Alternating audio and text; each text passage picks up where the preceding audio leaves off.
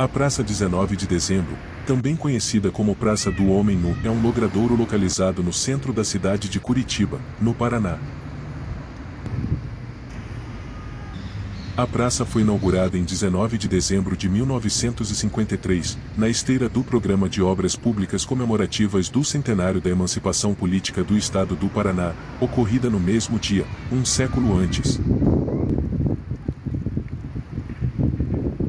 A praça conta com um obelisco de pedra, contendo dizeres comemorativos ao centenário da emancipação acima referida,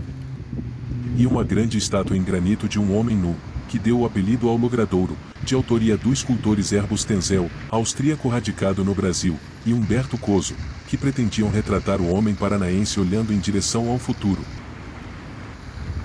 Verificações feitas com uma bússola demonstram que a estátua olha em direção ao noroeste do Paraná.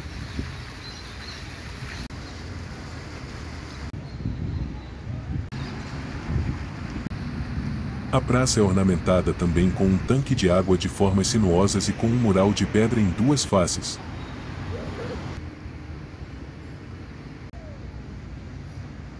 Uma delas contém um painel em granito em alto relevo de Erbus Tenzel,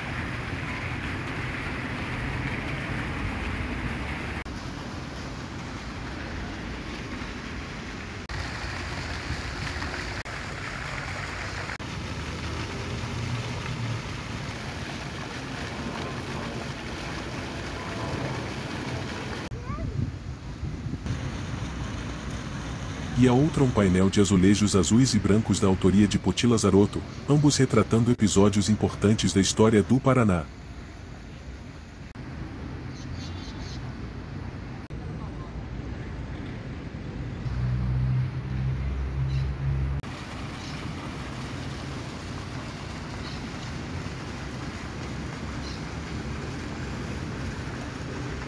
Posteriormente a praça recebeu outra estátua, desta vez de uma mulher nua, dos mesmos autores, mas que estava destinada a guarnecer o Tribunal de Justiça do Estado do Paraná. Em razão desta última obra não fazer parte do conjunto arquitetônico original e não guardar proporções anatômicas com a primeira estátua, surgiram discussões em certos segmentos artísticos e culturais de Curitiba, no sentido de preservar a conformação original da praça e de seus monumentos, devolvendo-a à sua destinação original,